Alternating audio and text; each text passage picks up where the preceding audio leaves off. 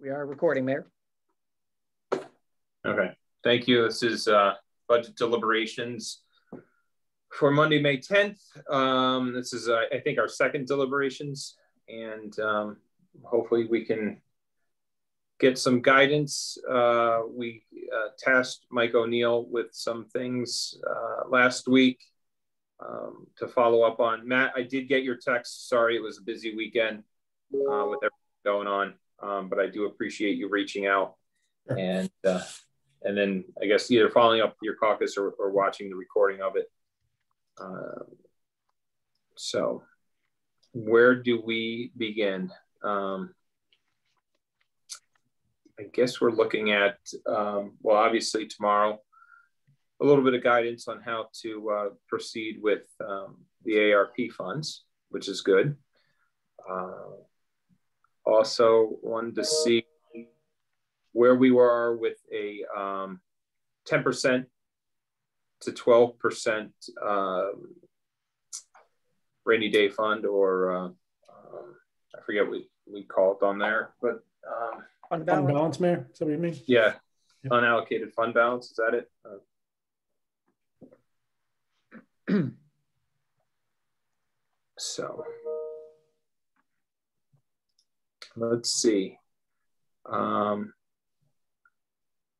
anything we want to dive right into or look for other additional savings? I know we kind of went and hit the big ones uh, for the departments.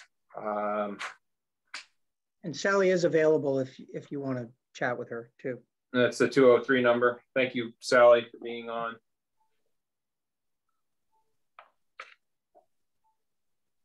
I have a I have a question, Mike, if I could. Sure. This is uh I guess for Gary and Mike O'Neill. on your um, possible scenarios at the bottom of your pre-Mike O'Neill review sheet. Talk about uh, use of American Rescue Plan funds for infrastructure. Of course, we don't know yet what the restrictions are, but is it true that we think it's only going to be for capital use and uh, that's part of the question. The other part is if it's if it can be used for capital, you you have it being earmarked for the road fund reduction. Um, aren't we required to to use the half a mil road fund? You know, in the mill rate calculation, can we substitute other funds for that, or how would that work?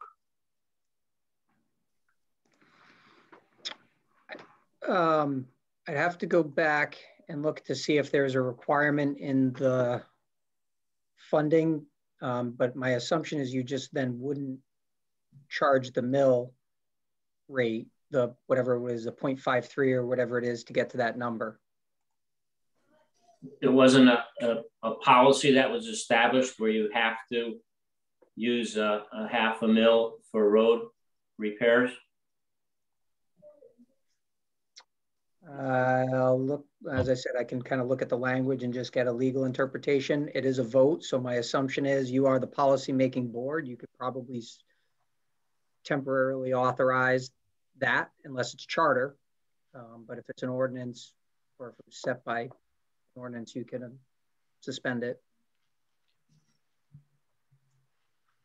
And along those same lines, the the CREC 140,000 um,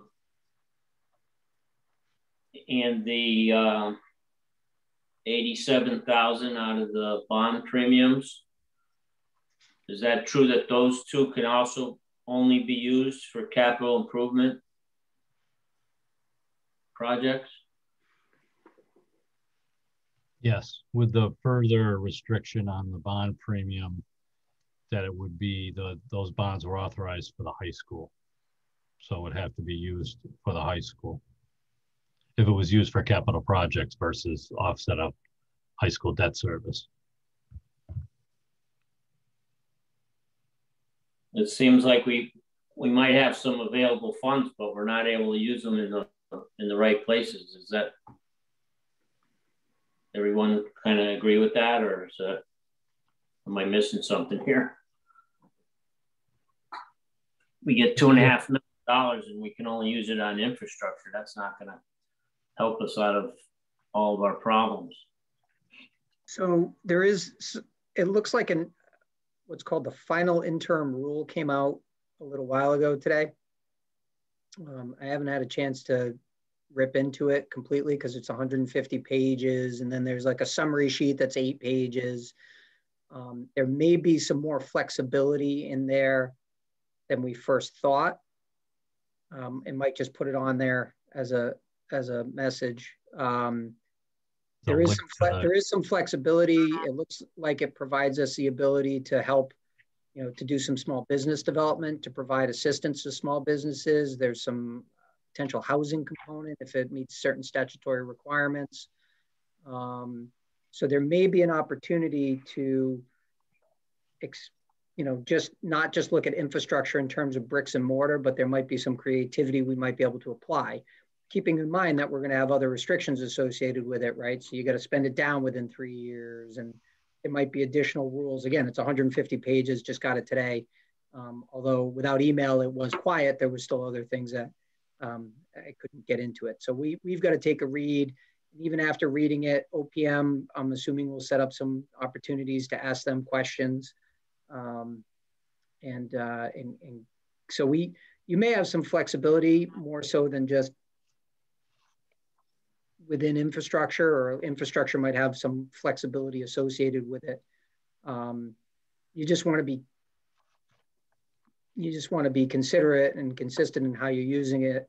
What I gave you for scenarios, that was one way to do it. I mean, and I think I said this at the other meeting, frankly, there's probably other ways to use that funding to create a um, a legacy fund or a better return on investment rather than just a one-time shot in the arm.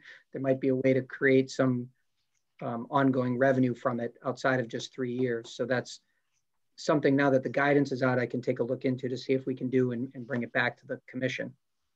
The other thing I, I think if you're holding on to your seat, since everyone's seated, seated down, since everyone is seated, um, something I'm gonna mention um, and looking at the a recent um, update that came out from OPM, and we still have to get clarification on this to make sure we're now reading it correctly. But that $2.5 million, um, the way the sheet originally came across, there was a tranche of funds for 2.5 and another one for 5 million. I had originally thought the 5 million was this Board of Ed component. Um, now that we've gotten more information in, it's quite possible that that 2.5 is ours and the 5 million might be ours for a total of 7 million. I am not confirming nor denying that fact until we talk to OPM. And I know Mike has been trying to reach OPM um, uh, unsuccessfully today because everyone else is probably doing the same thing, trying to get to them. So um, I'm telling you that not to scare you or get you overly excited, but just to be clear that, that there might be a larger sum of money coming our way than expected. And with that, I'll wait you wait for you to just get air back in your lungs. The I want to go back to the CREC uh, Northeast Utilities.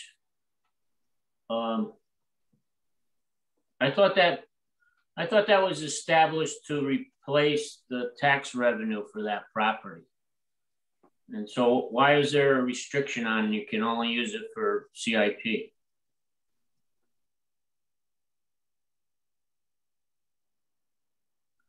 Anyone? Well, it was my understanding, I wasn't uh, on the council for when that was passed. Is it strictly for CIP or can it be used for economic development? And by that, I mean, could that be part of, the, you know, could we use that for the facade program? Just looking at the ordinance right right now.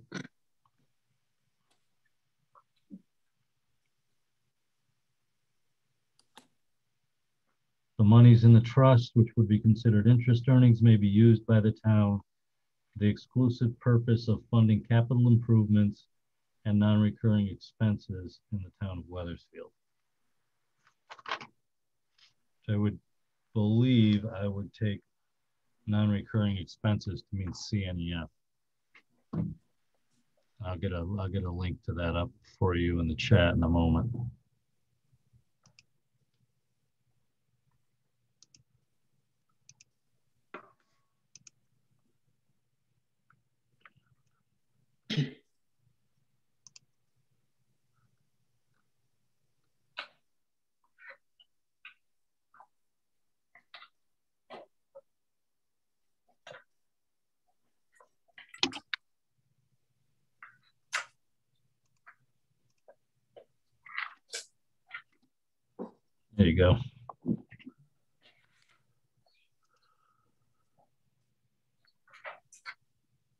14-24A.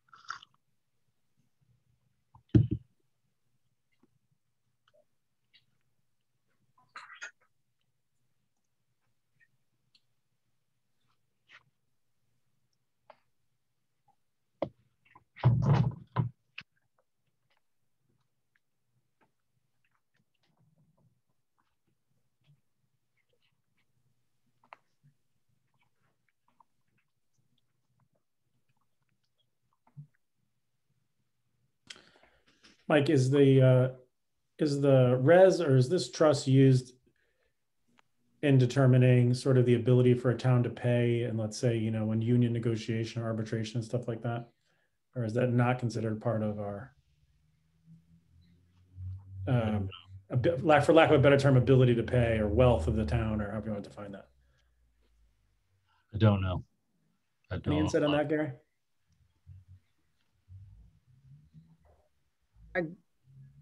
Could you rephrase the question? sure. It appears, I mean, I'm, I was looking at the E code that Mike just put up. Yeah. Talks about a trust and, and the holding of money and the investment of it, you know, our, our ability to derive some of its uh, income, you know, to run our operating. So is that trust, is the amount of that trust or the ability of the money that we get from that trust, is that used as a factor in our ability to pay when we talk about uh, when we do we talk about union contracts and we go into arbitration for them i think it's part of the analysis to determine um, labor costs I guess I'm trying to figure out how we're tying the two together, right? Because I see one is vested in any investment which public trust funds may be lawful. All income derived from such shall be credited to the trust, become part thereof. I don't know if I would tie the two. Right, to anything related to the to negotiations or otherwise.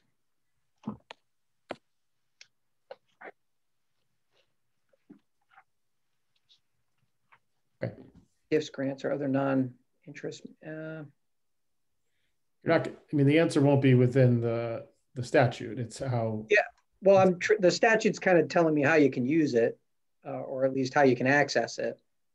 Um, but it is your thought to use the available funds to offset costs? all. It was uh, don't. if you try to think where my mind's going, you'll you'll run yourself in circles. Um, no, I was. I mean, I noticed the trust. There's a funding source here. I know Deputy Mayor was talking about the use of various funds. Um, you know, in in infrastructure. So I I didn't understand if we were doing you know do a huge infrastructure investment or a huge investment into this trust um, would that then reduce our negotiation position as we continue to uh, enter into you know labor union negotiations? Nah, I, wouldn't. I wouldn't connect the two. Um, you know, if if if you somehow were able to use the trust to generate, you know, an, an incredible offset in revenue, and the town suddenly had a, you know, a huge influx of cash, yeah, I'm, I'm assuming the the unions would say, well, no, you're you're flush with cash, and we want access to it. Yeah, they might not. I mean, they might be considerate of it. I'm not saying they're out for blood, but it's just one of those things. It's you know, it's they would make the argument if we weren't in a tough fiscal or financial um, condition uh, to say you you can pay us more. Um, we're not in that condition, so they're not asking aggressively, at least. But you could, you know, to go one step further, you could use those funds, not just the interest. You could use those funds to um, stimulate economic development, right? It's a leveraged pool of cash that you could use for a project um, as long as the math, my opinion, as long as you could pencil out the math to say, okay, we're earning, and I'm throwing a number out, 5% interest on it. That makes us X amount per year. If you use those funds to stimulate the economy somehow through bringing a business in or developing another parcel, would that same amount be returned in tax revenue every year or more?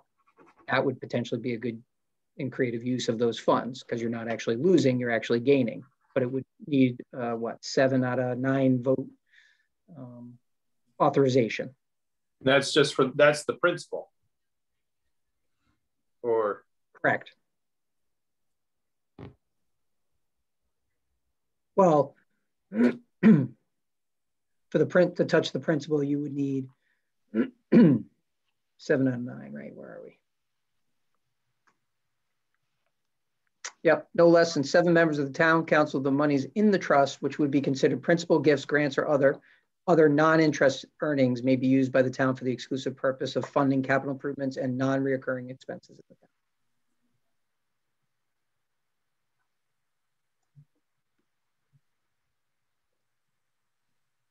Okay, but to use the, the principal, we can use the principal as we see fit for CIP or CNEF. Correct. With yeah uh, no, the the interest. the super majority but yes. Earnings.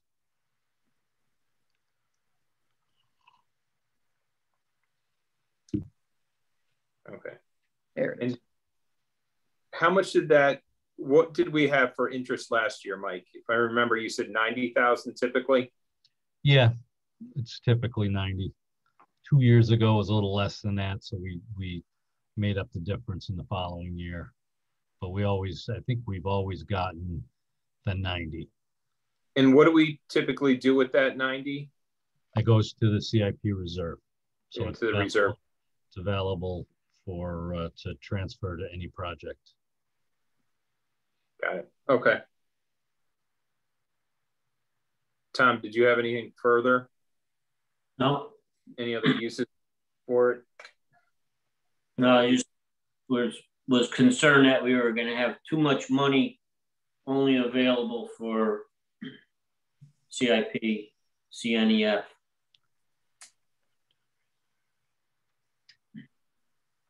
If we were to use the, you know, if we can use the uh, 2.5 uh, American Rescue Plan money. Okay.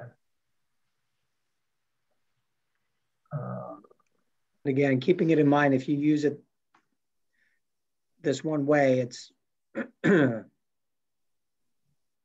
doesn't necessarily help you next year. It's just a, an idea of doing, you know, how you could do it. I'm just trying to come up with a plan to keep the taxes residents flat. Hmm. I would certainly rather put it all away use the interest, but that may not be possible.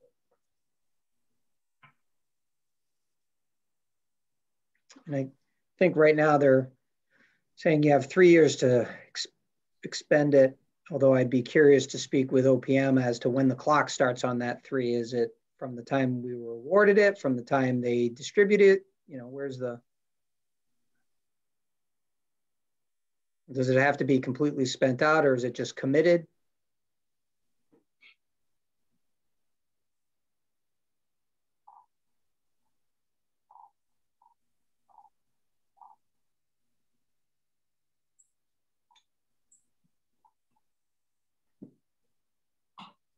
The town calendar, Gary, at six thousand dollars. Is that strictly printing cost? Yeah, I believe we do the layout and everything inside. Oh, they might help us with the layout, but I think that's part of the printing. I think we do most of the work. Um, in previous years, we've had, we've paid someone to take our pictures. We kind of did our own thing this year because of COVID creatively. So, but I believe that's just straight printing. And how many do we have printed up? And then how many do we have typically returned back to us or recycled at the end of the year?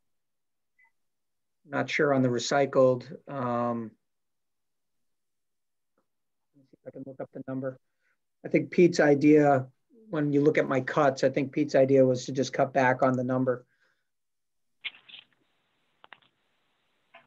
Right. I want to make sure we get enough information out to people, but if if the world is transitioning more and more onto online, getting their information, I mean, we do in the same bracket, you have the Great Elm, which we were supposed to use as more of an informational platform electronically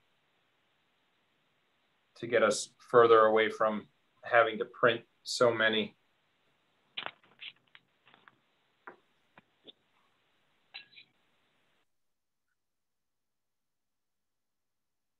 I have a, I have a question for Gary on uh, the sheet that we're looking at, the B column says requested. Is that, I, I thought that was requested by the department head. Is that correct? Yeah, so if you're on the department operating, that column should be hidden. Right. And it when it when it was originally created, that created by me, that was requested. But the problem is once I started doing the different recommendations, you know, possible scenarios for you, those may no longer line up. Because uh, like the calendar we were just talking about, the way it reads, it wasn't even requested, but then you put it in. Right. So when I built this sheet originally, I had asked department heads to give me certain levels of cuts. And so then I took that for the creation of my budget and I picked certain line items.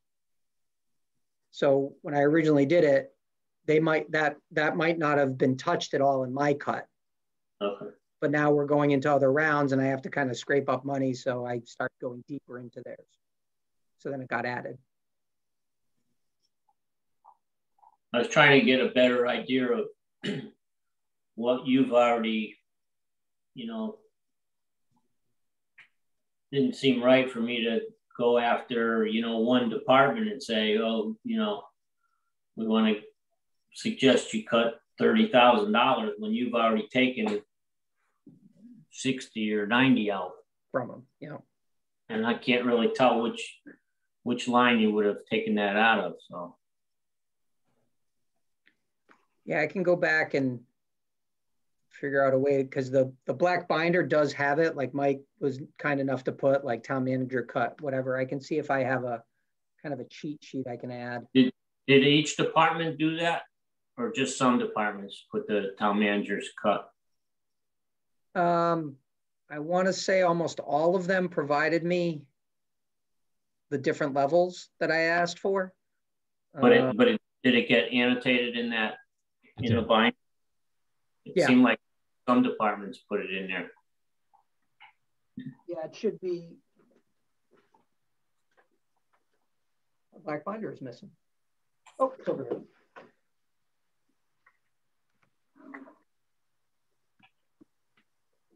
Yeah, I believe it. Yeah, not um, not everyone. There might be a few that escaped a cut because it just didn't, you know, didn't make sense, or it was going to be or you know, it was large, like IT equipment and software or townwide radio. It's it's almost too difficult to to carve it, which is why the larger number is in there. Um, but most of them have some kind of marking that says town manager reduced by X.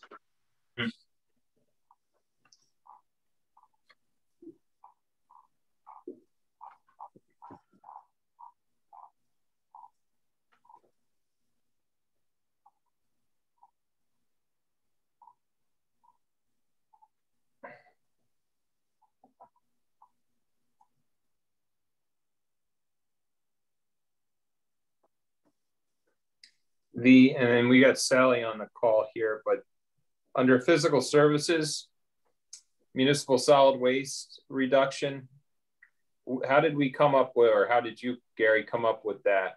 Roughly a $50,000 cut. I was looking at the, so keep in mind, we, we went up because the dollar amount went up. And then I was looking at where we kind of were averaging over a period of years in terms of waste. And I just multiplied it by um, the, the change in the increase. I multiplied that by where we've typically been falling um, in terms of what the total tonnage is. And so that's, you know, and it, as Sally has pointed out, it's it's risky because you just don't know because one year it could be higher, one year it could be lower. You throw an average in there, you, you just don't know, right? We could have a year where we change how we do trash. Since things are closing in July, since MIRA is closing in July, I'm kind of hoping it'll be consistent over the next 12 months. Um, so again, it's there's not a ton of science to it. It's just it's math. It's kind of like I I don't know. I don't know if residents will throw out more trash or businesses will throw out more trash in this year. So I kind of just picked the what I thought was a number based off of where we were statistically or historically, not statistically. And again, just like anything else, we're, you know, there's, we're, we're hoping that's what it'll be, or if it exceeds it, it doesn't exceed it by much.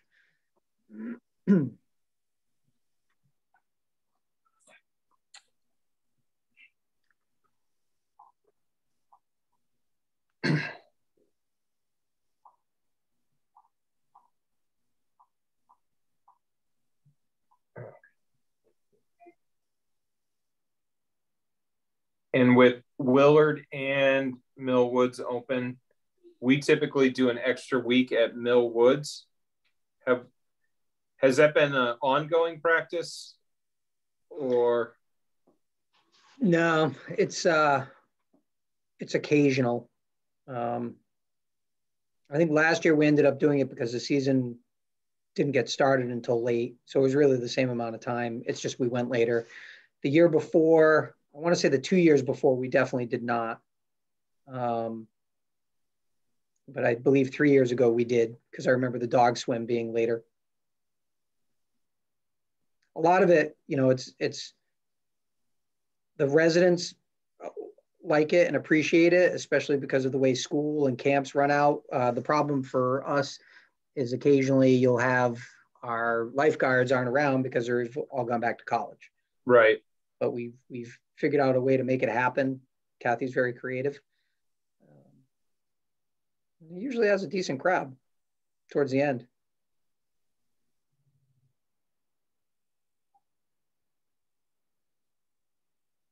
Those those are some hot days in August. I'll tell you, those are some hot days.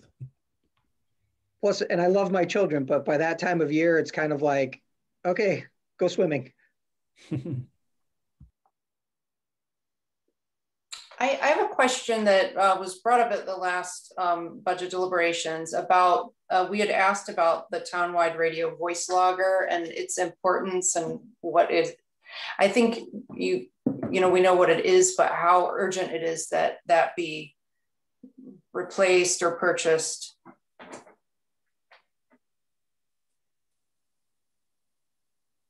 haven't had a chance to talk to John yet, but I did, um, we did appropriate 48,000 for that two years ago in fiscal 20. So I did track that down, but I just need to talk to John Eichner and, and kind of get a thorough understanding of, of how that fits in and the, you know, uh, how important it is. I mean, obviously, you know, we had this idea two years ago, right? And we don't have it yet. So I'll, I'll track him down on that. I just haven't had a chance to do that yet. Okay.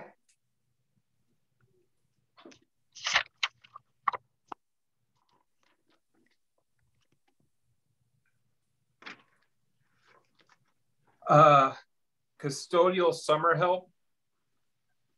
And, you know, and this is what goes back to the shared services uh, agreement with Board of Ed. But it's my understanding that boards will be getting either part of the ARP funds or a separate fund for summer enrichment programs? And if they are going to be held at schools, I know we provide the summer cleanup for it, but could that be used through Board of Ed funds?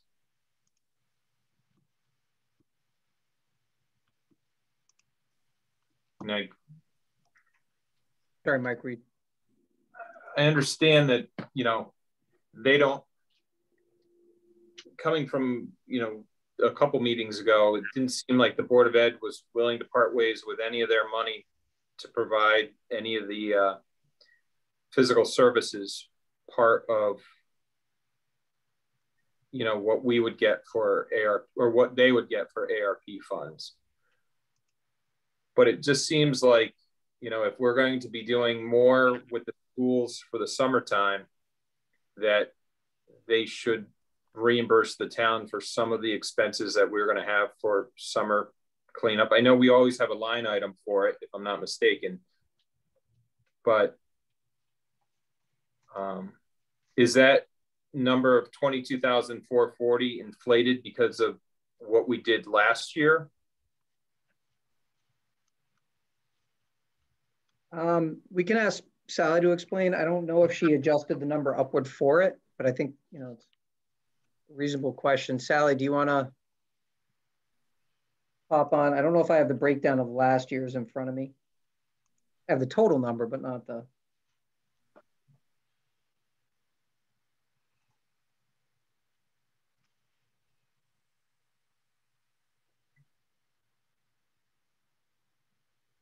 And I think she's trying to unmute. Star six.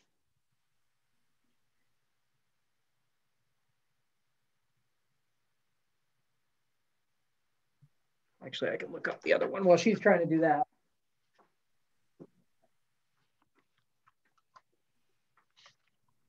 I almost have to go back two years just to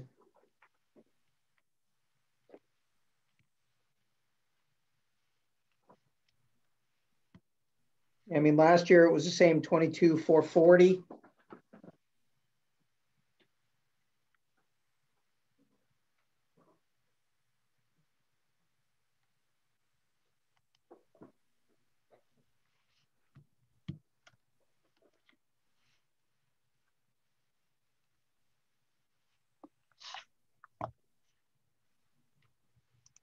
Yeah, I mean, it, it, it's pretty consistent about 22,000. Hang on, she's getting back on.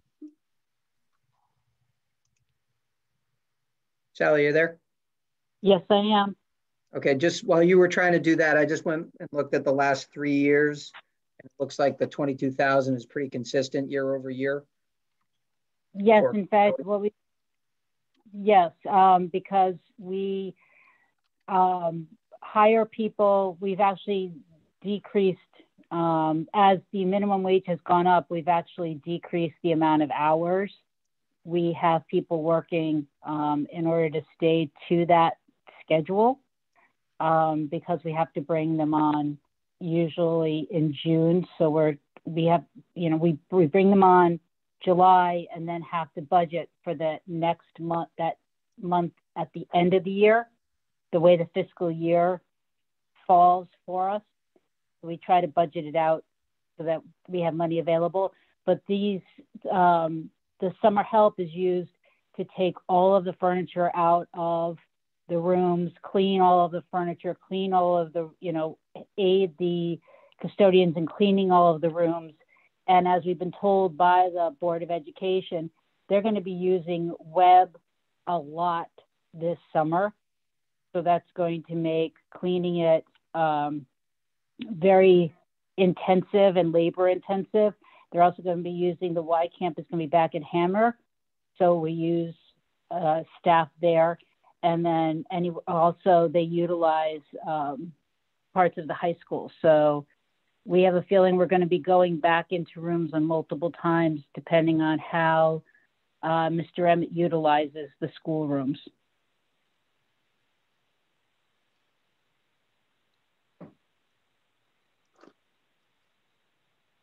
Do you think there's going to be an increase to that 22,000 or? No no we we will budget we budget our time to that number.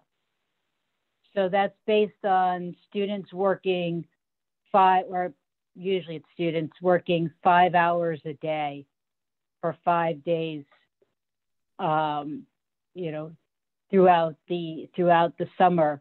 And then um, then that's starting July 1st, and then we hold, you know, some bets that they can hopefully start in June. But we always, as I said, we we work it to that number. Okay, and then I don't know. They're basically labor that just keeps they move furniture all summer long. Okay. So it doesn't look like it would be reimbursable from the Board of Ed for any increased costs due to their summer enrichment programs? I it's, have asked, yeah, I've asked the Board of Ed about the opportunity to use any funding and did not receive a positive response from them.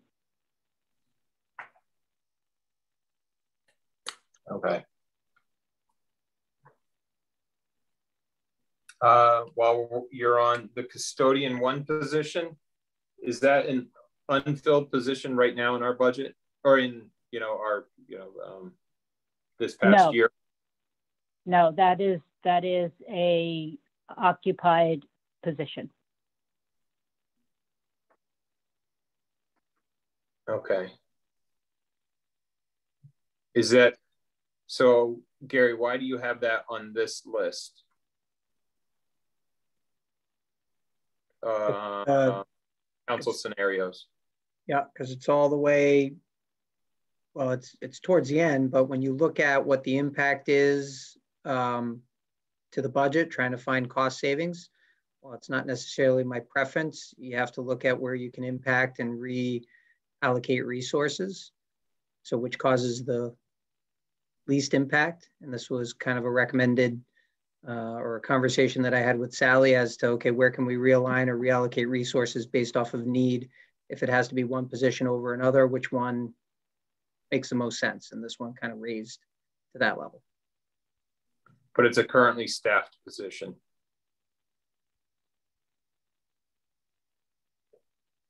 At this time. At, at the time. So it's, we did have some recent movement within the custodial side. We had someone who left, so there might be an opportunity to reallocate resources. Okay, so we have we are down one custodian right now. What did we do with that transfer, Sally? Uh, we were going to move forward with it because of the school schedule, um, okay. but maybe we can we can hit the pause button on it.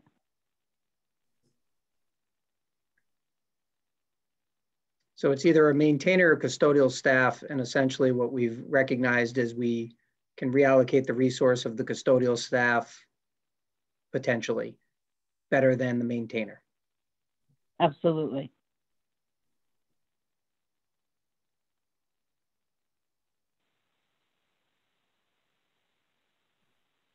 Okay.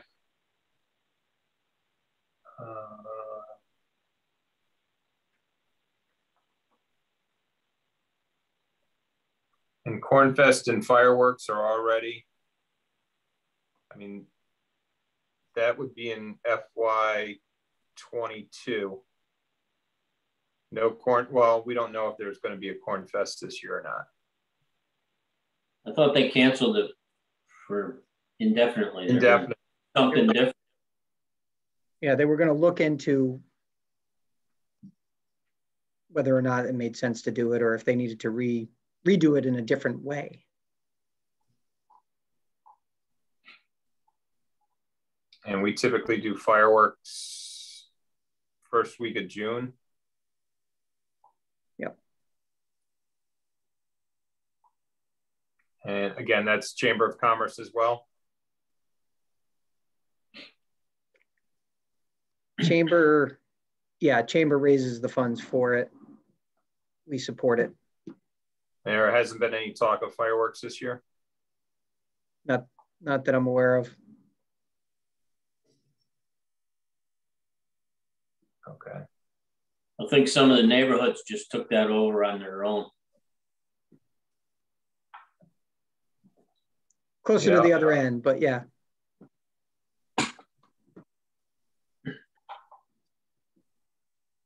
Okay. And Sally, you're comfortable with larvicide, like a twelve thousand dollar cut in larvicide? Is that the tablets that go in the uh, catch The, base? the base. Yes. I'll answer that for her. No, she's not comfortable with cutting any. I mean, yeah, I mean, I'm, I'm not, I'm not comfortable with, you know, cutting any of it, but um, again, those are more quality of life programs than essential services that we provide for the operation of the town. Okay.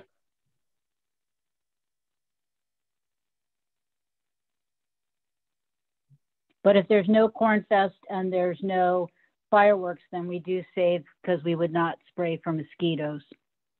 Yep. And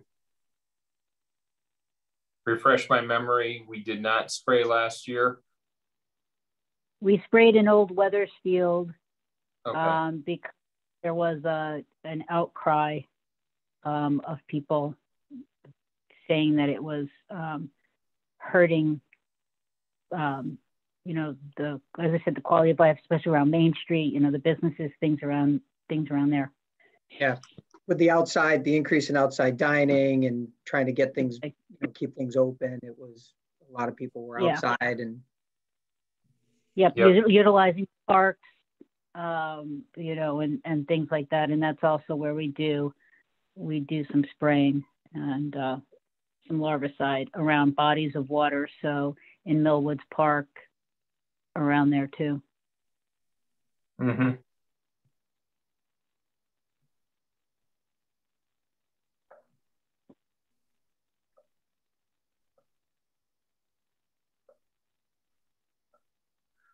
Uh, it's going through.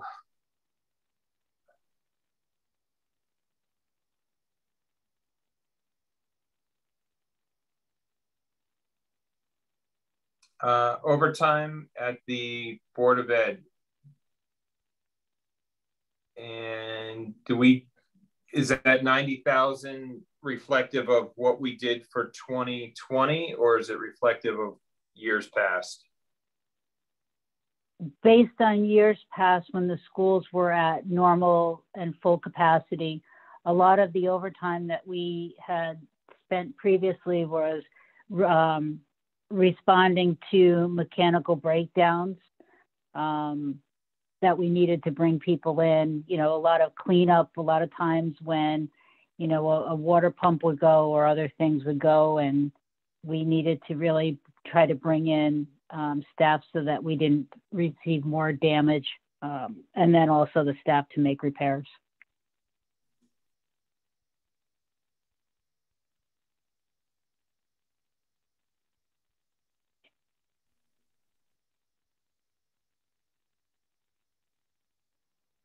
And parks summer help?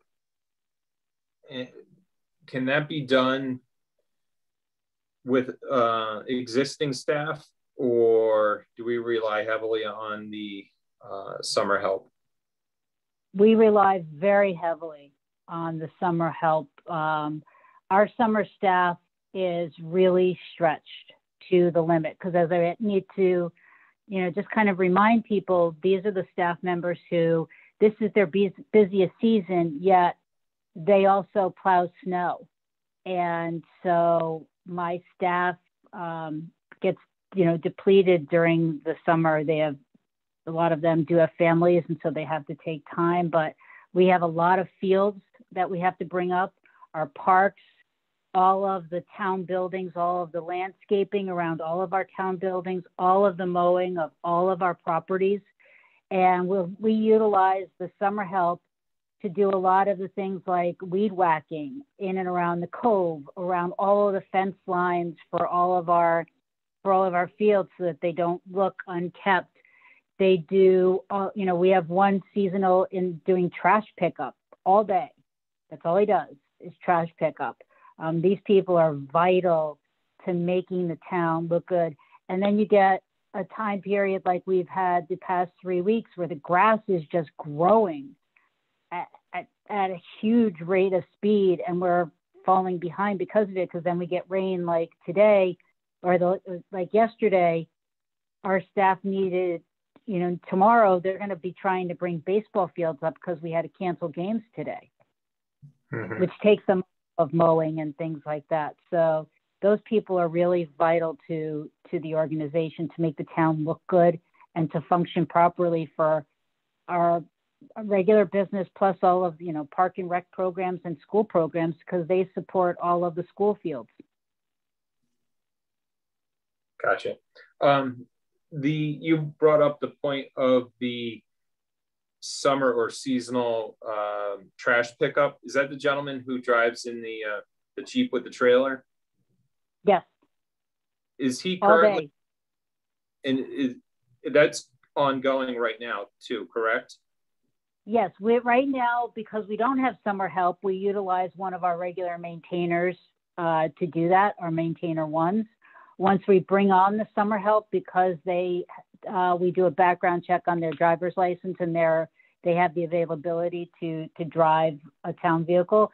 We utilize one of the summer students. Then we take that maintainer one and put that person uh, on a lawnmower or lining fields or doing something that takes more um, more finesse than uh, driving around doing the trash pickup. Okay.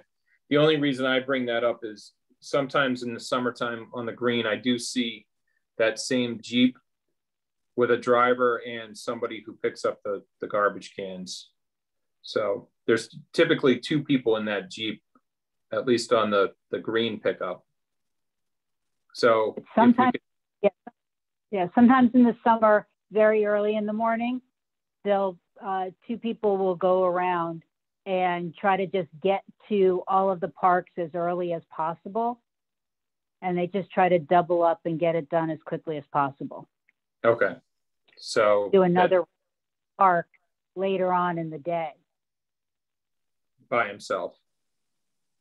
Yeah. Gotcha. Okay. I just want to make sure if we're utilizing staff, and I'm sure you are, um, that you know we don't have a driver and somebody to pick up if throughout the year we're just using a driver. Um, right. But yeah, makes it quicker for them to get it done, especially in the height of you know outdoor recreation if they can get the garbage picked up and then move that maintainer off to uh, a separate duty and then put the seasonal to work. Yes. Yes. And then what we also have seasonals going around with the people who do mowing so that the seasonal worker does the weed whacking while the other person may be on the mower. So you may see someone on a mower, but that uh, on the Broad Street Green, but then one or two seasonals doing all of the weed whacking around all of the benches and trees and um, beds and things like that. Yep. No, I'm that's how I paid for my extracurricular activities in college doing that. so. Hey, Mike, I did have one question, and yeah. I don't know if this has been asked before. Sally, do you have any concerns about the chlorine crisis and what impact that's going to have on costs? Uh, so far, we are we're good, um, and our suppliers have said that they'll be able to supply us with what we need. Um, as to the rising costs, right now, you know, we buy our chemicals and things off the state the state bid list. Um, how much that's going to go up, I don't know. I do I do know there's a lot of price gouging going on right now. You know, just from chlorine yeah. tablets. So I'm just curious how that's going to affect. Hopefully, because of the way the state bid contracts go, by the time that those are up for renewal, this crisis will have subsided a bit. Okay.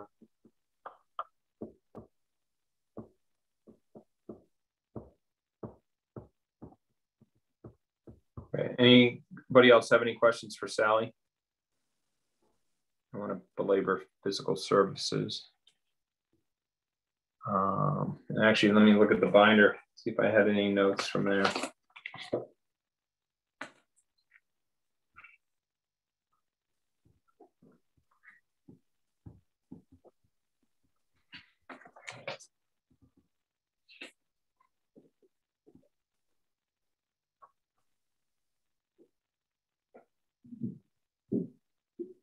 Oh, facility dude. Now, was that, that something? And how does our life work right now? You guys just aren't talking to each other with. Um, no, facility dude.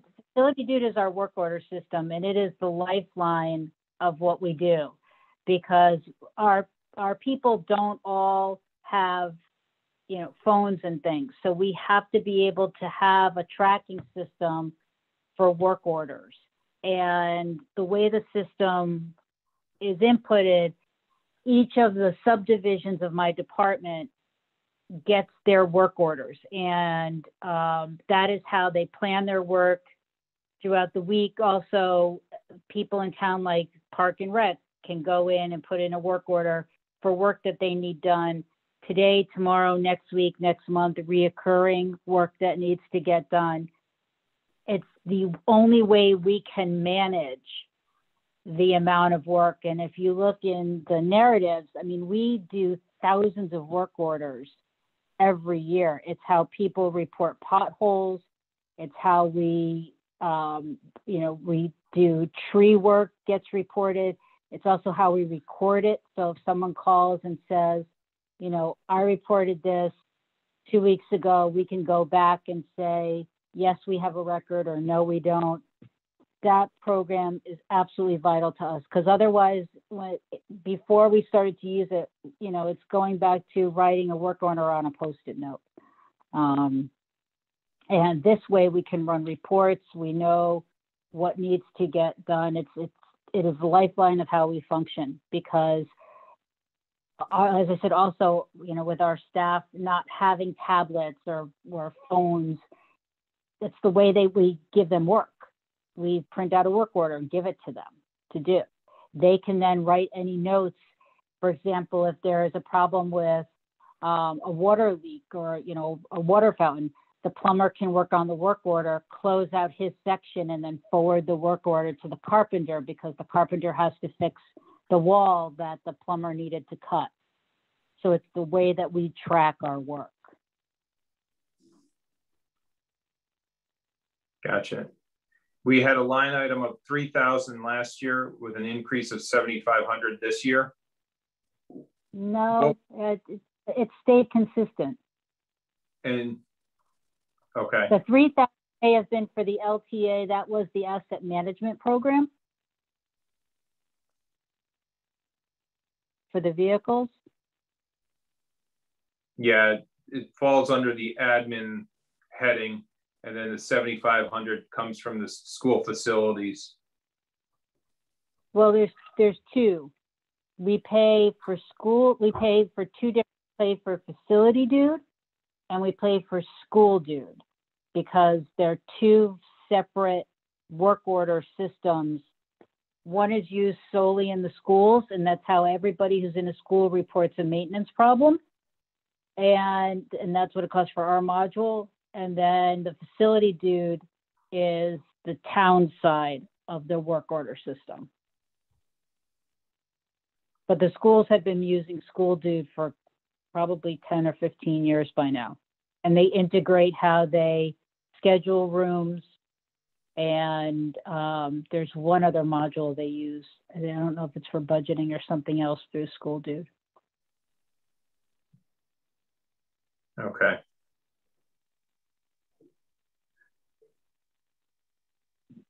So I guess I'm stumped though.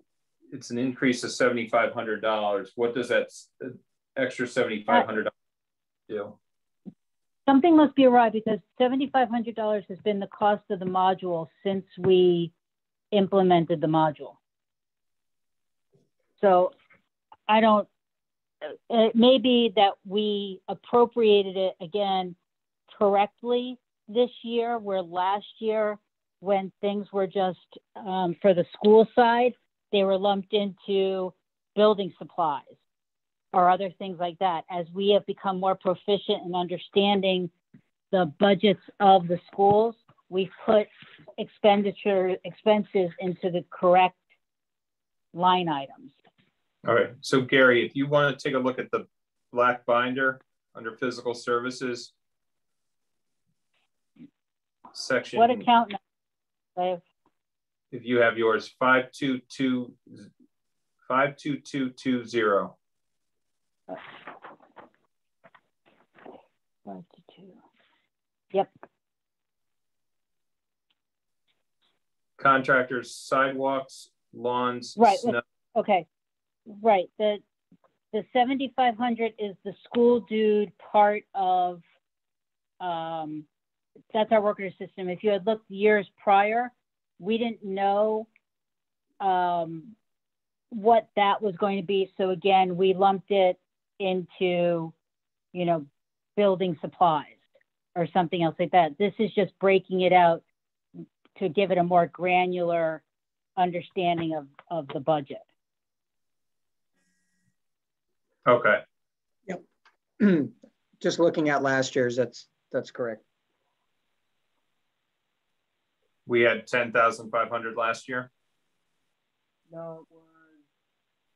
No, it's if you look, 10,500 actually is 3,000 goes towards contractors that we have to hire to do sidewalks when we have to do code enforcement, when the people don't do their, um, when they don't shovel snow or when the grass gets too high. That's the 3,000. So if you take the 3,000 and the 7,500, that's how you get your 10,500 number. Okay.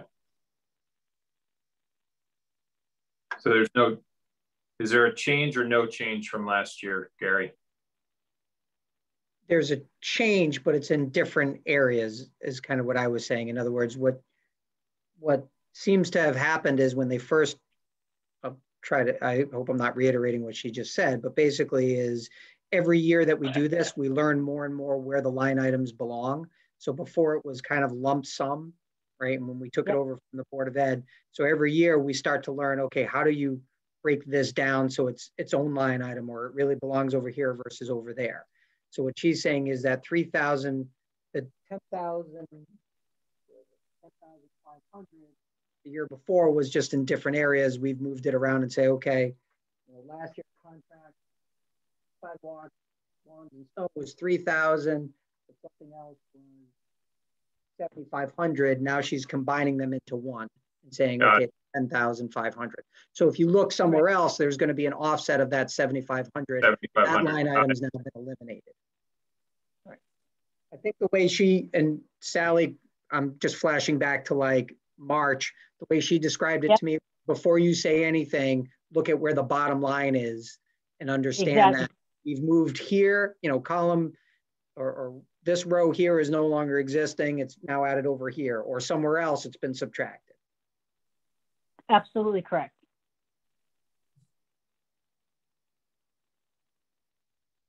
Got it.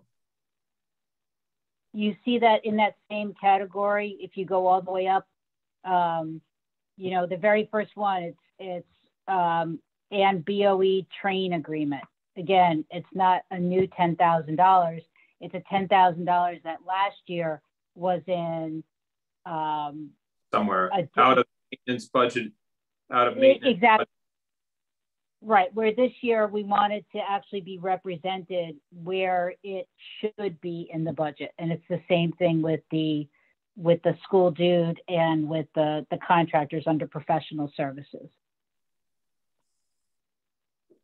Okay. And just to clarify, we're not, when we have to mow a lawn or, or, or clear a sidewalk, we then send those charges up and there's liens and other things. We're not just mowing someone's lawn or, or removing snow because we're doing someone a favor. They actually get charged for that.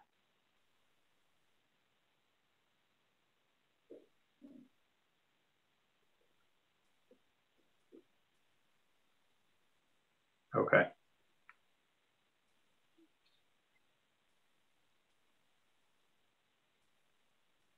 Uh, I'm just looking if there's any other notes.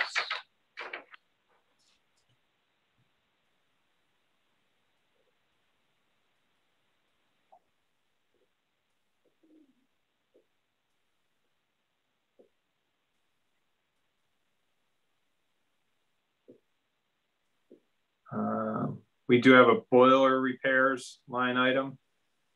And is that all schools or all buildings? Just simply repairs, that's not replacing of anything? Correct.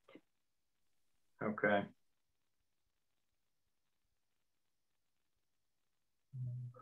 Unfortunately, our elementary schools are old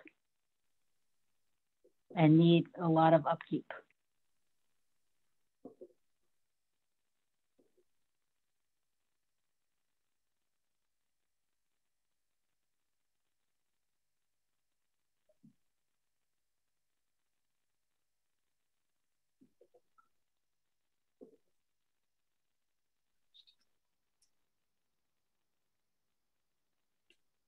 Uh,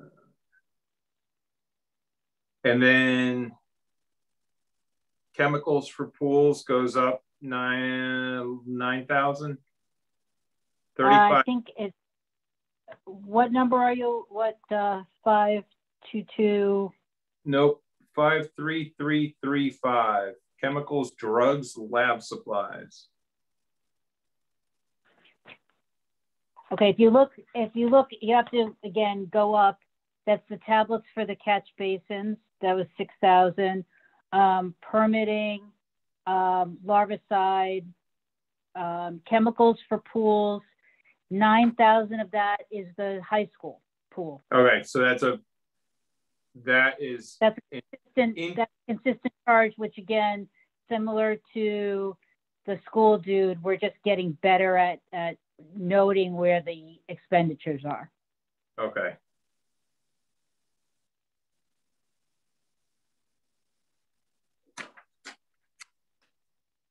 Gotcha.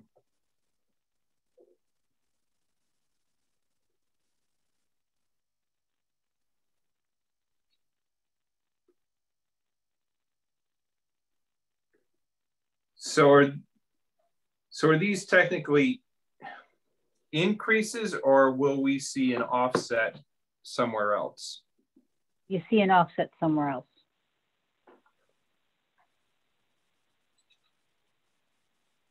And Gary, where would for, we see that offset? For example, under 53345, um, building supplies BOE, it was 82,617 last year, and this year it's 76,000. Mm-hmm. Right. So again, looking at that total number for that, it was 118,000 total in that line item last year. It's 112,000 this year. Gotcha. Okay. So, so it's not. I could make a recommend, uh, offer a recommendation here. Why don't I prepare an analysis of just that that far, for furthermost right hand column where it isolates mm -hmm. facilities I'll take the the non-personnel costs. So and I'll just do a line by line comparison to the adopted budget this year versus what's being proposed here. Because I think it is hard to see. We're just we're just adding more detail sort of pulling numbers out of those lumps. If you think back three years ago I forget if the number was three million or what it was, but we just took we just took the full amount that was in the Board of Ed budget and put it in and really didn't know where to put it other than utilities. Exactly. So, but let me do let me do that for you. That's easy enough to do. Just a just a side-by-side comparison of what you're looking at in that column in the black binder and what, what that looked like for the adopted budget in 21. Okay. Just Yeah. the total. So you, it'll just, and again, I can, I'll do personnel, but we can, should probably kind of think of those things separately, personnel and non-personnel, and just, I think it'll be easier to see just in, you know, on, and with What- that level of detail. Because you don't have, Yeah, that where the actual. you don't have that, that org isolated, you know, for, for the 21, the, the 21 column is everything. So it's Yeah. hard, it's, it's, it's not easy to, to do that analysis this way. Yeah. Right. Like I just flipped through it quickly and you could see where they've dropped significantly in certain areas. It'll just be easier if it's all on one page.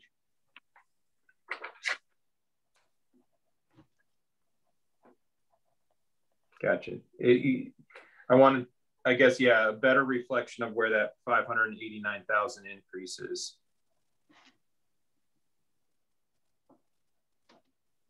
And if there's anywhere we can trim some of that five eighty-nine out of.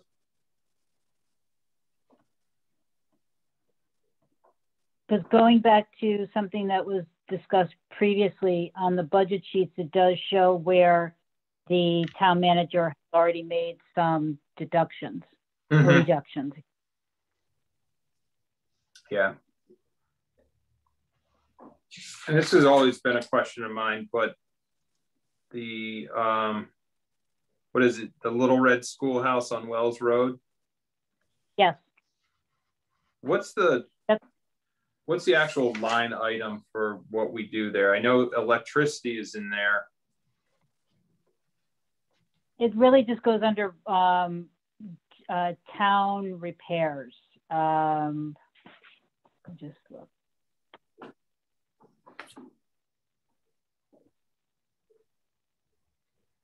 And what is, I guess, what would the cost be to keep, Under five, two, uh, if you look at five two two seven five, repair and maintenance, property and equipment, building upkeep, we usually pay for things out of, um, the five thousand dollars that the trades utilizes there.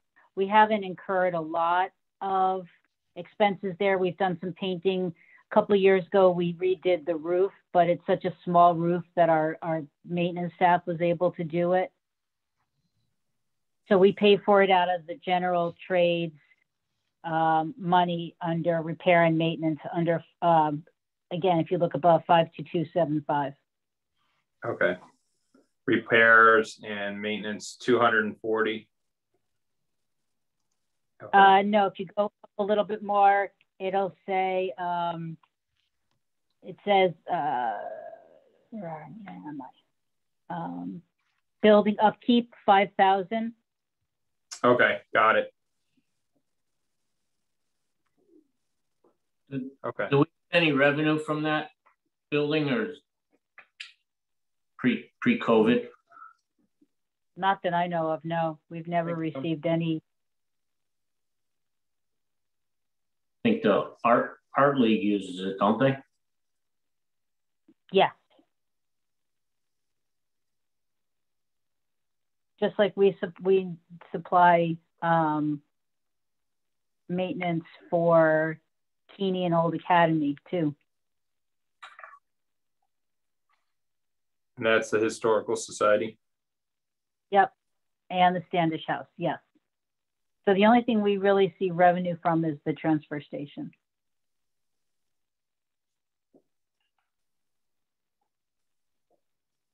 We don't see any revenue from, uh, well, oh, yeah, you meant, you said Standish House, Lucky Lou's. How about Solomon Welles House? No, that's all park and rec. That's, okay. We don't, oh, yeah, obviously. Rental all of it and all that. Okay, Right. We do the maintenance, but we don't see the revenue from it. right.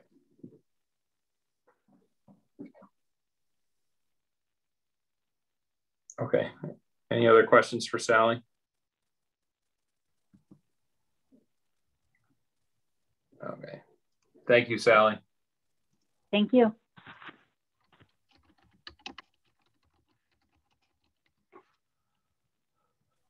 Okay, so we'll look at the um, council scenarios a little bit deeper. Um, any big ticket items that anybody on this call would like to discuss?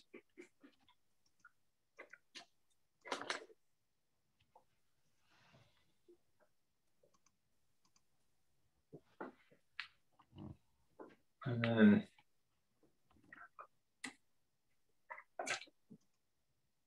Gary, when do you think you would get some information on that possible additional 5 million? And, and again, can you just reiterate what, where do you think it's coming from?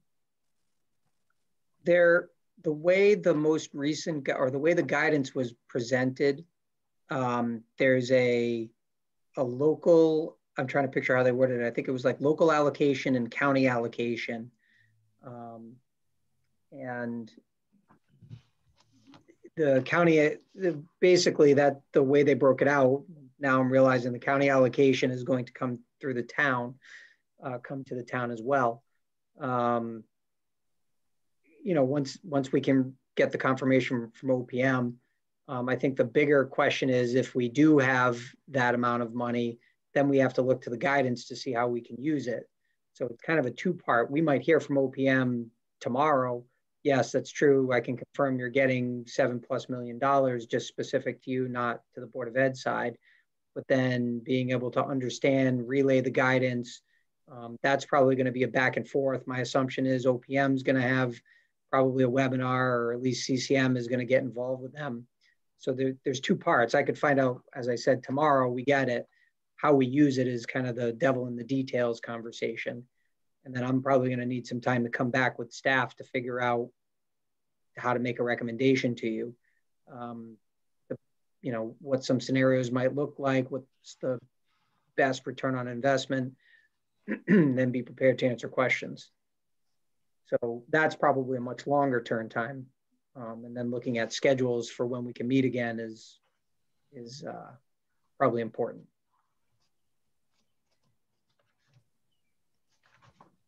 Okay.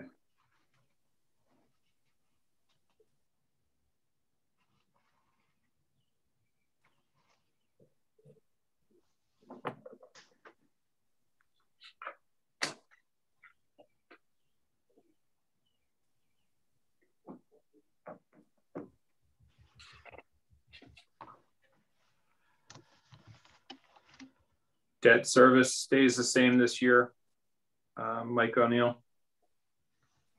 Yep. Well, we've got the the eighty-seven thousand to work with. Yeah. Premium. Mike, Mike, did you have a chance to look at the uh, collection rate? I have not yet.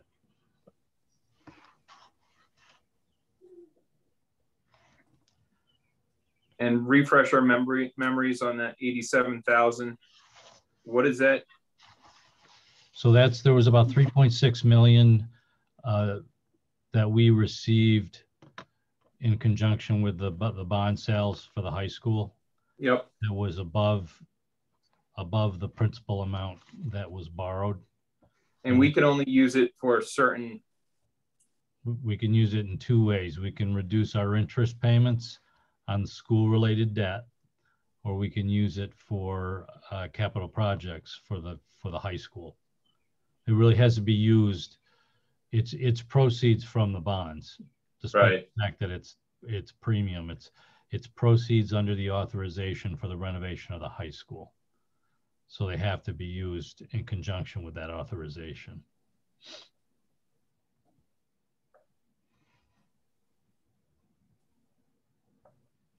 What do we have for capital expenses for the high school in the in the budget? Nothing. Nothing. I don't think there's anything. so really, we can only use it to reduce.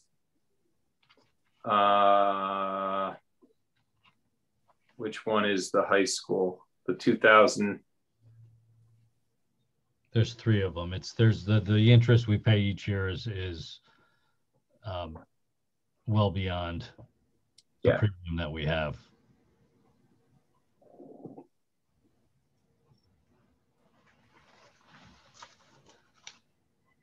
Can we, we can't use it on um, high school IT equipment?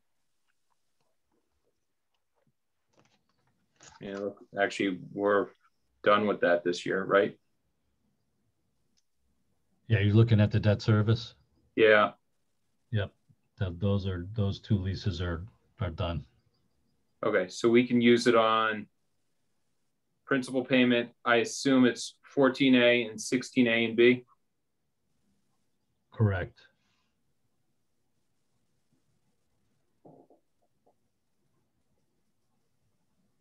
Okay.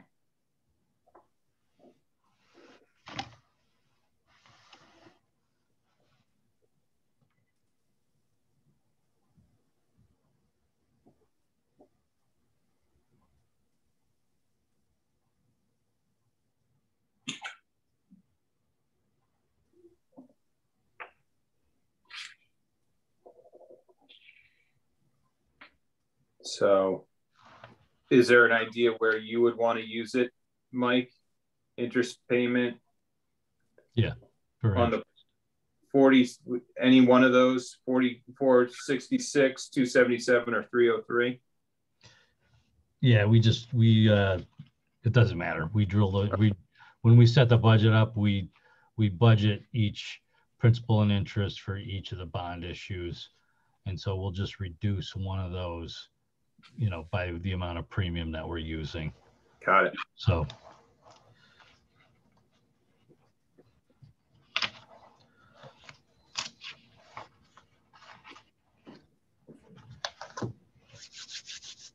That's an easy one. No brainer.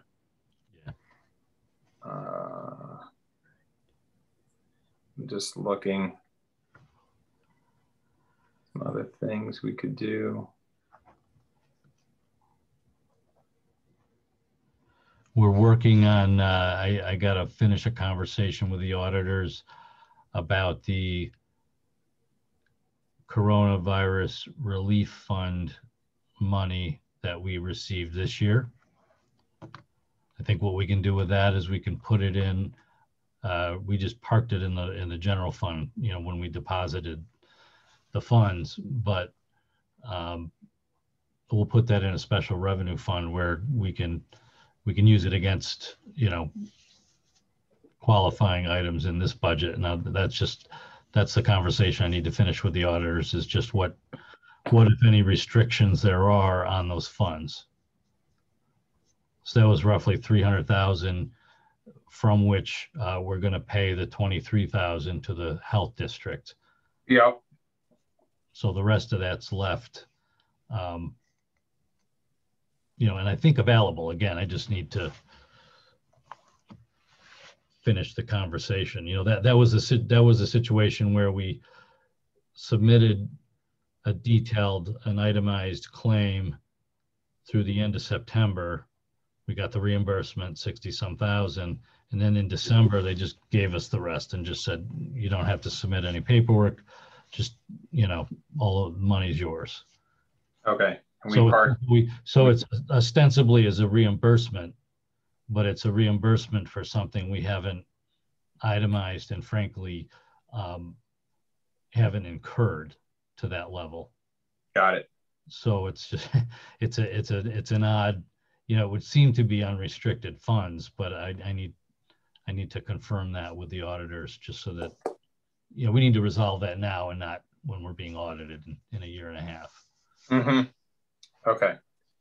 So get us guidance on that. It's roughly, if I'm looking, it's the CARES Act relief, um, 335,600 minus the 26 we gave to the health district.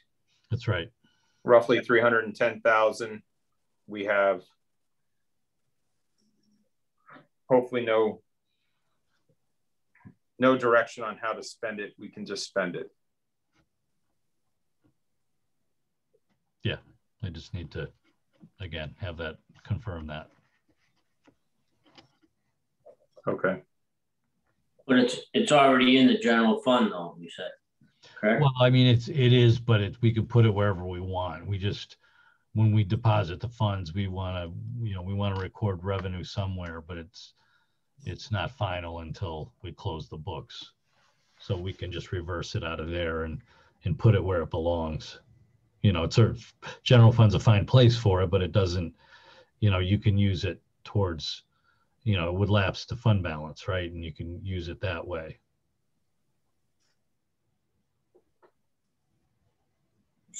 So does the five ninety-eight go up by that amount then? That the surplus that you're projecting? Uh, that that number was just the projection on the expenditure side. So separate from revenues. So we so we're gonna well there'll be a pickup on the revenue side too. It's just a question of we got to settle that. Um, that's the biggest item, and then just look at you know how much of the two million that's appropriated this year we need to use because we have favorable balances on in the tax accounts where we typically do, you know, where we're where we're careful to to budget those. So by my figuring, you've got a little over a million dollars of fund balance to work with, assuming no lapsing funds on either revenues or expenditures. That's just, there's a million for sure. We'll sharpen the pencil, you know, and get a, a, a better idea of what we think would lapse.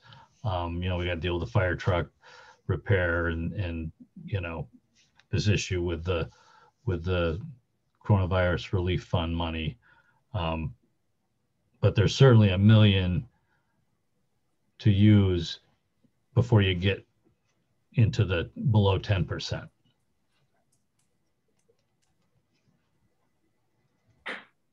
And so a million is 2.3 million is one mil. So you're looking at less than less than half a mil of, of pickup with that, you know, and that's again, we'll figure out the, you know, it's probably going to be a little more than a million. And that that's on top of the 12 million that we have already?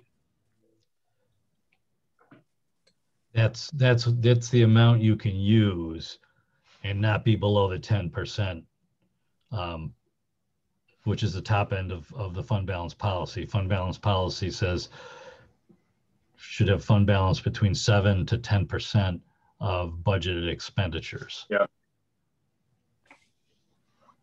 So we're over that. We're we're in excess of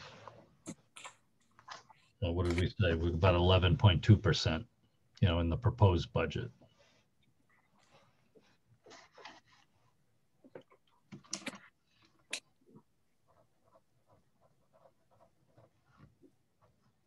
And again, that 11.2% is reflective of the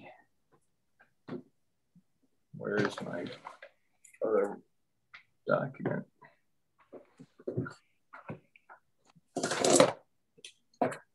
Isn't isn't the eleven point two that's proposed, right? It's eleven point two of the hundred and thirteen yeah seven number? That's right. Page A one. That's that's more than a million dollars though. No? 11.2.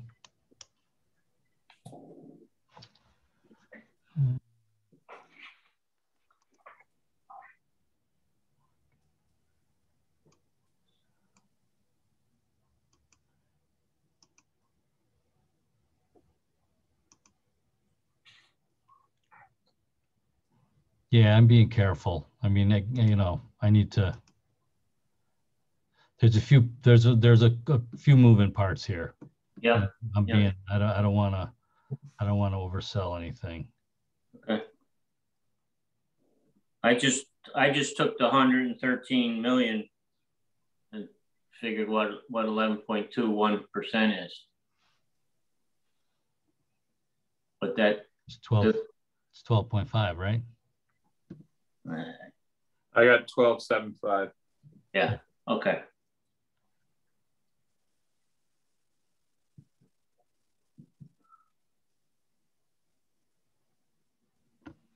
So when you when you put the budget together, the proposed budget, the, the 11.21 is really not cast in stone. We don't know what that's going to be, right? No, and it assumes it assumes no uh, no lapsing surplus on either revenues or expenditures.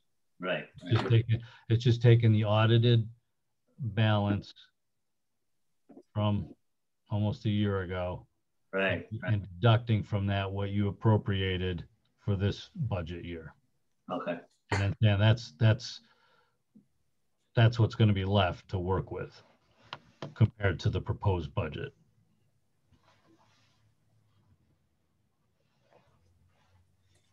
And then if we're able to reduce the 113 million by some number, then that's going to change that. Yeah, that'll, that's another one of the moving pieces. Right.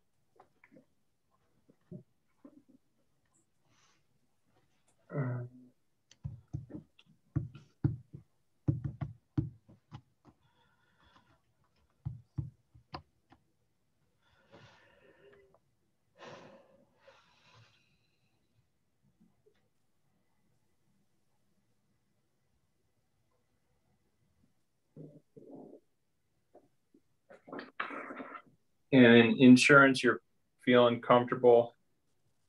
There is a savings. Do you have a like an idea of what that could be? In insurance? Mm-hmm.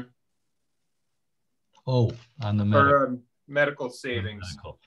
The medical, so the uh, Chris Monroe's three-year uh, estimation of savings is seven hundred and fifty thousand dollars. Um, I think it would be safe to take a quarter of a million. You know, assuming we're we're confident it'll be adopted. You know, no issue with the unions. I think it's safe to uh, to take a quarter of a million. So two things. So Chris's projection. So Matt and I both used two percent above uh, last year's budget. Um, Chris is projecting that the costs, if we stayed with Anthem, are going to be flat to to slightly negative. So there's a little bit of savings there, and then on top of that would be the move to Cigna, which we would reduce. Um, I think I think it's safe to do a you know quarter of a million split between the town and the board of ed. You know, based on probably based on employees that are that are carrying coverage.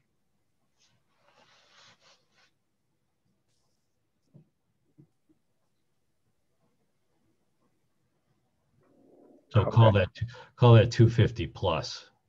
250 plus. So in this scenario, we've got only 200,000. So realistically, we could put in 250 and be comfortable. Yeah.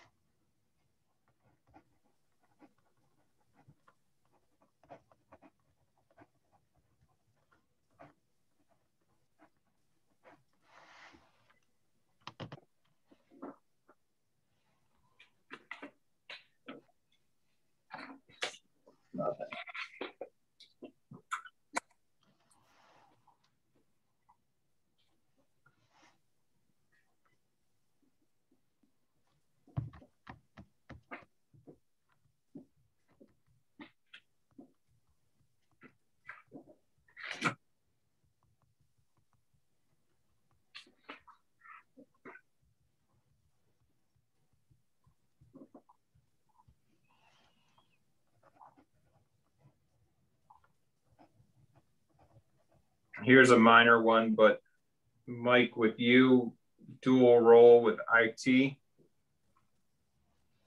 uh, fire marshal's new iPad. Um, do we have any other iPads around in IT? I mean, we look. I mean, it's a, it's only twelve hundred dollars, but if well, couldn't you just use mine? I never took one. Yeah, we're always, uh, you know, we're always deploying, redeploying used equipment anywhere we can. Okay. I don't know what the current inventory looks like on those.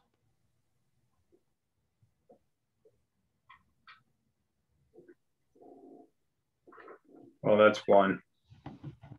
I'm just looking through some notes on that and scratched my head when I'm thinking about iPads. I would imagine we have some.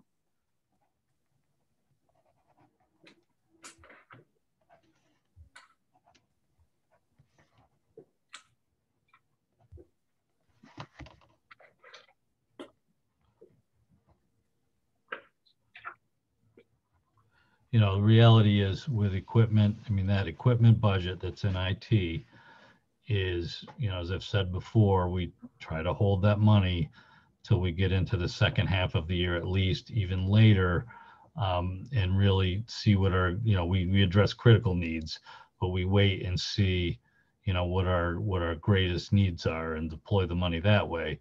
Um, that said, you know, we're pleased to have the budget that we have there, but it's not it's not like some budgets that are you know it's not like a like there's maintenance contracts that have to be paid for. It's it's it's discretionary, and we could certainly you know if you wanted to take the money out of fire marshal for the iPads, we'd figure out a you know we certainly we'd figure out a way out of the IT equipment budget to to make it work. And then would you hmm, it's probably on the other spreadsheet. Actuals for IT.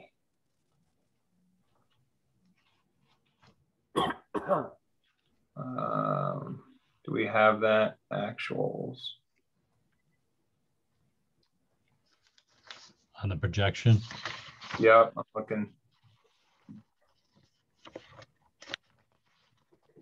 For IT.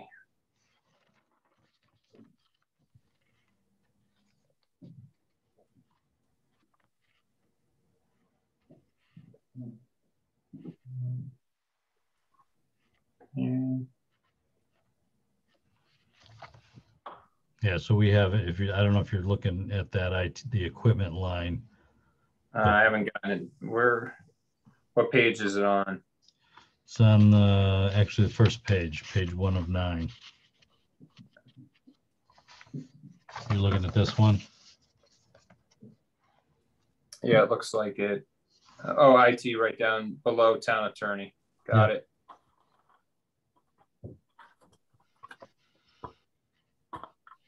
Now I got to go figure out which one you want me to look at.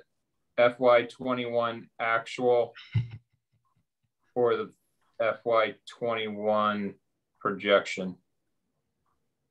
It's, it would be the FY twenty-one projection and the projected variance.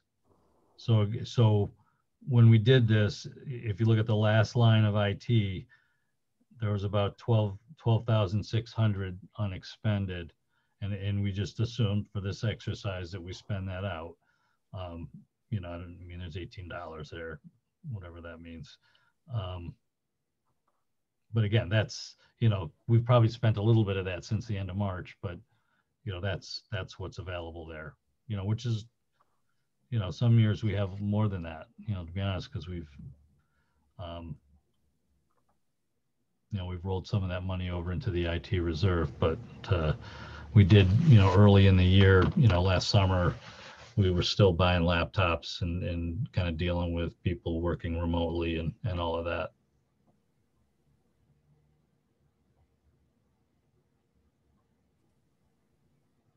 But the total for IT is eighty-seven thousand seven sixty-nine. Yeah. Is that your projected savings? Yep, a lot of that comes from the, the, you know, we've got two vacant positions. Yeah, up top, yeah.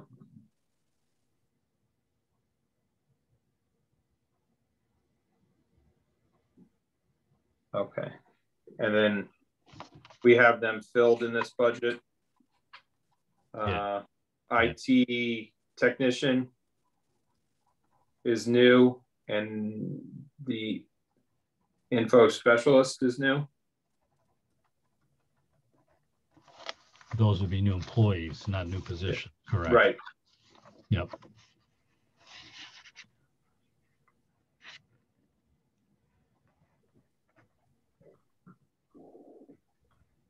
Okay. And I dare ask the question, we need those, huh, huh, Mike? Yeah, desperately. Well, let's see. We were we were without uh, email for most of the day today. We that wasn't anything to do with, and it had nothing to do with us, but he had to troubleshoot. do with town, yeah. There's a whole list of backlogged IT work. Okay. Well, still there is savings there with new personnel coming in.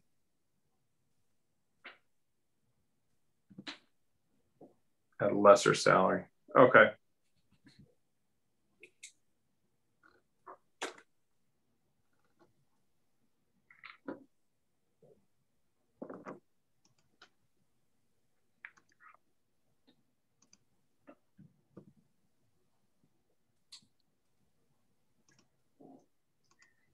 Anything else for anybody to discuss? We'll keep chipping away. What do you want to do for a plan moving forward, uh, Mayor? Well, I Probably think- date. You guys will caucus, chats, or not? What do you want to do? Yeah, I think um, obviously we want to get any updated information tomorrow from Gary. Um, we'll probably, we're not meeting again this week, right, Gary? Now we should probably figure out a plan on that. Again, any information that I have tomorrow will probably be short and sweet. This is how much we're getting, not so much how we're going to be able to use it. So you're probably going to want to build in some time to have that discussion or give me time to at least absorb it, have conversations with the state, and get back to you with recommendations and try to answer or get questions from you. And we're meeting on the 17th, the next council meeting. Regularly scheduled council meeting. Yep. Okay. Well, Matt, if you guys want, if your folks want to get together, talk about some items and some either possible revenue sources. Um, and then whatever guidance we get from Gary, have that, you know, parlay into your calculations on, you know, what you guys are thinking. We'll probably caucus this weekend, definitely for the um, council meeting, but we will probably caucus the uh, the budget as well. Um, Makes sense. do you want to? There's probably no real reason for any other deliberations for this week. Um, then we'll, yeah, why don't we caucus ourselves for this weekend, talk about the budget, and then maybe after the meeting on the 17th, come up with uh, a possible date for future or further deliberations on, you know, where we want to get to and how we can get there, and possibly vote on a budget the week of the 24th at the earliest.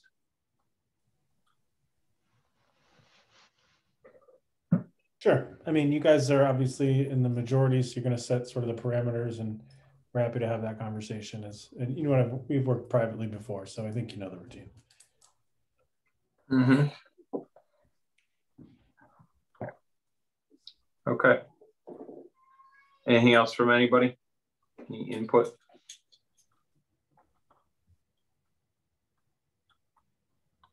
Hearing none. Okay. We'll close this deliberations and then uh,